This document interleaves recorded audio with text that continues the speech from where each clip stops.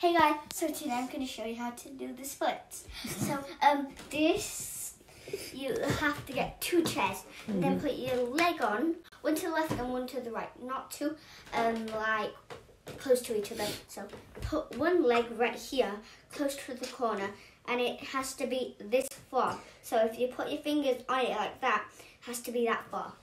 And then you have to get your pointy toes, your pointy toes, and then point it on there and then push yourself. And then make sure you're like that. And then, voila, that's how you do it.